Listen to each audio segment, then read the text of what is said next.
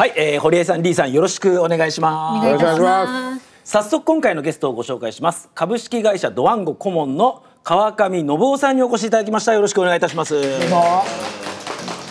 川上さんといえばですねあの1年ぶりの、えー、この番組にご登場いただくんですけどこの1年いろいろあったと思うので ちょっとそのお話をですね触れてから本題に入りたいと思うんですが これ直近だとあの川上さんと旧 N 党の立花さんの激論対談が結構話題に、えー、なったかと思うんですけれども堀江さん何かこの話って聞いてます、うん、聞いたけど、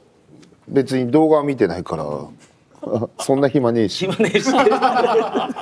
なんでなんかえ立花さんとから絡みたかったんですか？いや全然。全然？な何なんですか？何が起こったんですか？いや単純にねあのガーシーの件ってあのー、そうか。ガーシーとか FC2 とか全部絡んでんだよね。あそうですそうですなんか FC2 でまず揉めたんですよね、はい、あのまあ一応言っときますけど僕基本的にあの被害者なんで。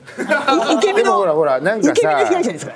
僕もなんかそれで思い出したんだけど、はい、ブロマガってサービスをやった時に、はい、ブロマガどっちが元祖だみたいな件で揉めたんじゃなかったでしたっけ最初。そうですね。それで向こうが怒った、ね、が最初ブロマガってやっててその後なんかニコ動でブロマガをやるみたいな話になってこれ大丈夫かみたいな話とかからなんか結構ここじれたんですよね FC2 と。てか高橋さんか。まあそうなんですけどね、まあ、多分そこら辺の認識は向こうとこちらで、あの微妙に違ってて、向こうはブロマガだって言ってるんですけど、あのそうじゃなくってあの本当はその違法コンテンツでずっと揉めてたんですよね。まあまあ。まあまあまあでもまあまあその話やめましょう。いやでもね泥仕合っぽかったんで。わあ俺泥仕合には近づかんとこうと思って。泥仕合してるわちなみにその泥仕合後あの、はい、印象って変わりました？立花さんの印象。いや印象なかったんですよね。もともとね、はい、なかったんですけど、はい、あの僕はいい人だと思ってたんですよね。あのまあなんかどうもそうではないなっていう。なるほど。いやいや、うん、いやまあちょっとユニークな人だなと。今後立花さんと絡むんですか？絡まないんですか？いや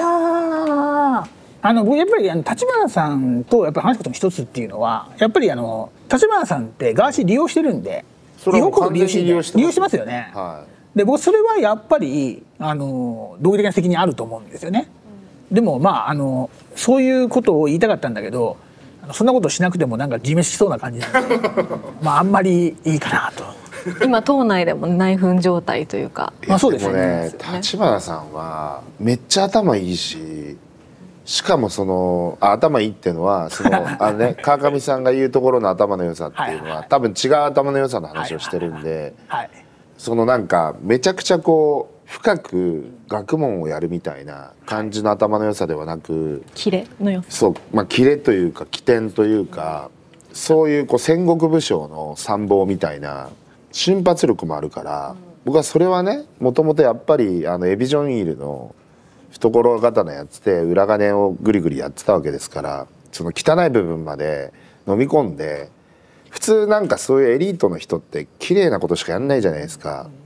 だそういうところのなんかいかがわしいところに突っ込める力ってのはすげえなと思いますよ。ガーシーとかと絡みたくないっすもん。まあ普通そうですよね。普通そうなんだけどでも N 党がそのままその国政政党であり続けてるのはやっぱりガーシーを取り込んだからじゃないですか。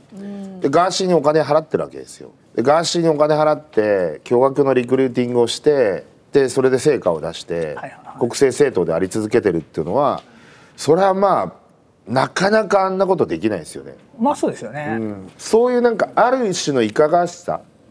みたいなものをもう何も気にせずやってしまうところが僕はすごいなと思うので、あの人は僕はそんなに簡単に消える人間ではないと思います。でもああいう人って結構世の中いませんか？ああいうための人結構合ってるんで芸能界とかたくさんいます。あ、まあ、芸能界にはいるんですけど 芸能界にはいる。だから昭和の芸能界の人ですよね。そうです。ちょっとある種チャット GPT に似てるじゃないですか、うん、えー、どこかに似てるんですか？いやその瞬間に答えを出すっていうそう。あの全体的な文脈とかっていういうのがあるわけじゃなくて今与えられたその状態での最適解を出すっていうことに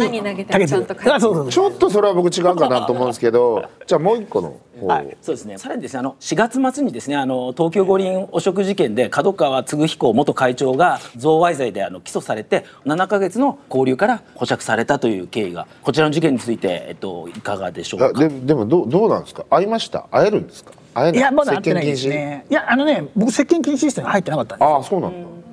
や僕絶対入ってると思ってたんですけど、まあでも、はい。それは特捜部が川上さんが事件に関係ねえっていう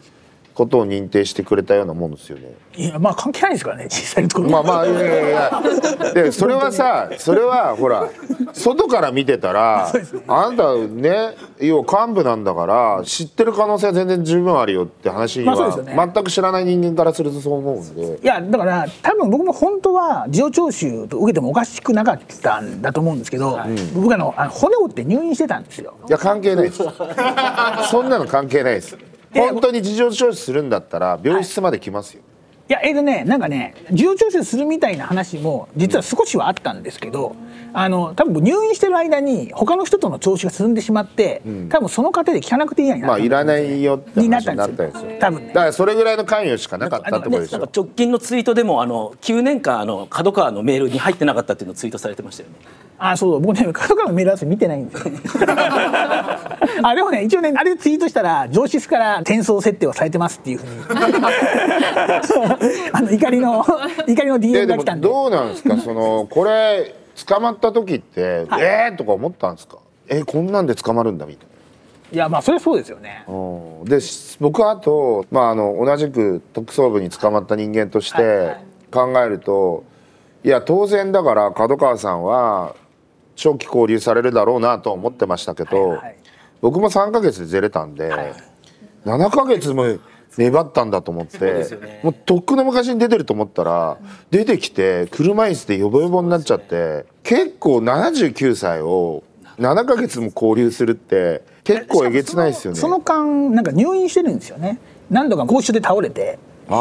でそれで入院してもあのすぐ連れ戻されてそれもまだ、あのコロナとかにかかったんだけどもそれもあの完治しない状態でまた戻されて、それが再発してみたいなことが結構僕はひどいと思います。ひどいですよね。うん、だからそろそろさなんかあの人質司法のね、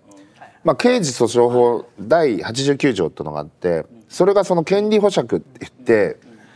その保釈の、まあ、問答無用に保釈される権利について書いてある部分があるんですけどそのそこに、まあ、証拠隠滅をしたりとか口裏合わせをしたりとか逃亡したりする恐れがある時は保釈しちゃダメだっていうふうに書いてあるわけです。でそれって要はあの事件があなたはこのね極悪人の犯罪人なのに